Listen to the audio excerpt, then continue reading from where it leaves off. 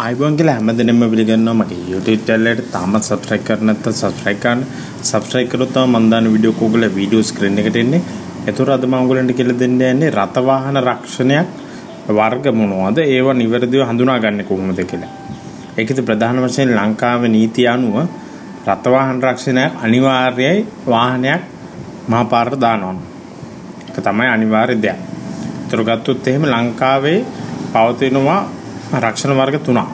එකක් ඇවිල්ලා full ඔප් full insurance. නැත්තම් පූර්ණ රක්ෂණය නැත්තම් කම්ප්‍රිහෙන්සිව් ඉන්ෂුරන්ස් එක. ඊට පස්සේ දෙවෙනි එක තමයි තර්ඩ් පාර්ටි ඉන්ෂුරන්ස් එක. ආයෙ තියෙනවා third party fire and theft කියලා. මෙතනින් අනිවාර්යෙන් අපි දාගන්න ඕනේ දැන් රක්ෂණයක් අනිවාර්යෙන් දාන්න බෑ. ඊට තර්ඩ් පාර්ටි ඉන්ෂුරන්ස් එක අනිවාර්යෙන් අපි දාන්න ඕනේ ෆුල් ඉන්ෂුරන්ස් එකට ගියේ නැතත්. ඒක තමයි ලංකාවේ පවතින නීතිය. එතකොට ගත්තොත් එහෙම පූර්ණ රක්ෂණය. පූර්ණ රක්ෂණයේදී අපිට වන්දි ගන්න පුළුවන් අපි කරලා තියෙන රක්ෂණ වර්ග අනුව. හරිද? හැබැයි අපි රක්ෂණය කරලා තියෙන්නේ ඒ අනුතුරු වර්ගය. මේදී ඔබ ඒ කියන්නේ වාහනයට අවශ්‍ය වැදගත් ආවරණ රසක් තියෙනවා.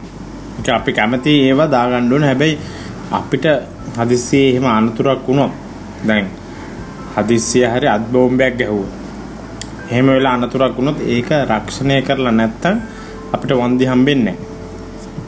දැතර පූර්ණ රක්ෂණය. ෆුල් ඔප්ෂන් වල හම්බෙන හදිසි අනතුරු හම්බෙනවා ගිනි, සොරබිය, කැරලි කෝලහල, ඊට පස්සේ ස්වභාවික ආපදා, ඊට පස්සේ තුන්වෙනි පාර්ශව, ඊට පස්සේ ඇදගෙන යාමේ ගාස්තු ඔය හැම එකක්ම තියෙනවා.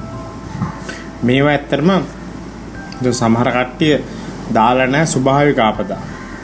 එතකොට සමාජයට ඔයගොල්ලෝ නායෑමක් වෙලා ඒව හම්බුනොත් හම්බෙන්නේ නැහැ.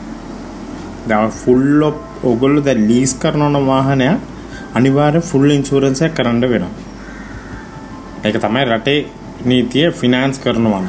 ඔට තර්ඩ් පාර්ටි ඉන්ෂුරන්ස් එක දාන්න බෑ. ෆුල් ඉන්ෂුරන්ස් එකෙත් අනිවාර්ය ස්වභාවික ආපදා කියන එක තියෙන්න ඕනේ. හරි. ඊට පස්සේ දෙවෙනි වර්ගය. දෙවෙනි වර්ගය ඇවිල්ලා මේක තමයි අනිවාර්යෙන් උගලන්න ගන්න ඕන තර්ඩ් පාර්ටි ඉන්ෂුරන්ස්. මේක සමහර කට්ටිය දාගෙන දුවන ඔය වැඩියෙන් කාර් හරි වෑන් හරි භාවිතා වෙන්නේ නැත්නම් මේක තමයි දාගෙන කට්ටිය දුවන්නේ.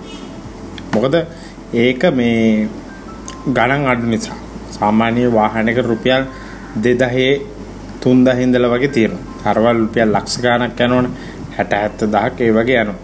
ඒක නිසා මේ රක්ෂණ ආවරණ තර්ඩ් පාර්ටි ඉන්ෂුරන්ස් එකෙන් වෙන්නේ මේකෙන් අපගෙන් හානි වෙන කට්ටිය තුන්වන පාර්ශවවල විතර විතරයි ගෙවීමක් සිදු වෙන්නේ. අපිට සත පහක් හම්බෙන්නේ නැහැ.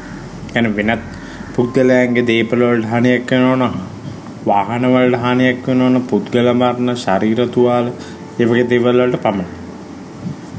හරිද? ඔන්න ඕක තමයි තර්ඩ් පාර්ටි ඉන්ෂුරන්ස් කියන්නේ. තර්ඩ් පාර්ටි අනිවාර්යෙන් අපි ගන්න ඕනේ. ඊට පස්සේ තුන්වෙනි එක ඇවිල්ලා තර්ඩ් පාර්ටි එකයි ෆයර් ඇන්ඩ් තෙෆ්ට් ඉන්ෂුරන්ස් එක. මේකෙදි අපිට වෙන්නේ සීමිත ආවරණ කීපයක් පමණක් ලබා ගන්න පුළුවන්. කියන්නේ තුන්වන පාර්ශවයක් තියෙනවා. ඊට අමතරව ගිනි ගැනීම ඇඩ් කරන්නත් පුළුවන්. වාහන සොරකම් ඇඩ් කරන්නත් පුළුවන්. හරි. ඊට පස්සේ ගොඩක් කට්ටිය අහලා තිනවා දැන් මේ ෆුල් ඔප්ෂන් වල තියෙන වර්ග තුනක්. එක කරු ප්‍රයිවට් යූස් එකයි හයරින් එකයි රෙන්ට් වෙහිකල් එකයි. මේකෙදි වෙන්නේ දැන් අපි රෙන්ට් එකට කාර් දෙනවා නම් ඒතර ෆුල් ඔප්ෂන් ගන්නකොට අපි කියන්න ඕනේ. නැත්නම් අපිට වන්දි හම්බෙන්නේ මොකක් හරි වුණොත් එහෙම. ඒ කියන්නේ ප්‍රයිවට් යූස් නම් අපි එදිනදා භාවිතයට ගන්න වාහනේ. ඒක අවුලක් නෑ. ඊට පස්සේ හයරින්. ඒක තමා තමාගේ යටතේ වැටුප් ලැබල රීදුරුවෙක් හෝ විසින් ඒක මුදල් අය කරමින් මිනිස්සු හා භාණ්ඩ ප්‍රවාහනය කරනවා නම් ඒක තමයි හයරින් වෙන්නේ. ඒකට වෙනම කියන්න ඕන. ඊට පස්සේ රෙන්ට් වෙහිකල්. ඒ කියන්නේ තමාගේ හෝ වෙනත් පුද්ගලයෙකුගේ ධාවනයේ යම් ආයතනයක් සඳහා වුන් කටයුතු ලබා දෙන වාහන ඒවා වෙනම කියන්න ඕන. දැන් රෙන්ට් කාර් සර්විස් එකක් තියෙනවා නම් අපි රෙන්ට් කාර් සර්විස් එකට වෙනම ඉන්ෂුරන්ස් එකක් ගන්න ඕන. ඔන්න ඔක තමයි මේ ඔග ඉන්ෂුරන්ස් සම්බන්ධයෙන් ලංකාවේ පවතින තත්ත්වය. ඔයගොල්ලන්ට කැමති එක ඔයගොල්ලන්ට ඔගොල්ලෝ වැඩි දුර දුවන්නේ නැත්නම් අනිවාර්ය තර්ඩ් පාර්ටි එකකට යන්න එක හොඳයි. ඕගොල්ලෝ ලොකු මිල ගදී වාහන සහ දවසකට කිලෝමීටර් 200 300ක් වගේ යනවනම් නැත්නම් සෑහෙන කාර්යබහුල පැත්තක ධාවනය වෙනවා නම් අනිවාර්ය ෆුල් ඔප්ෂන් එකට යන්න එක හොඳයි. හරි ඔන්න ඔය ටික තමයි මට ඔයගොල්ලන්ට කියන්න දුන්නේ. නැවත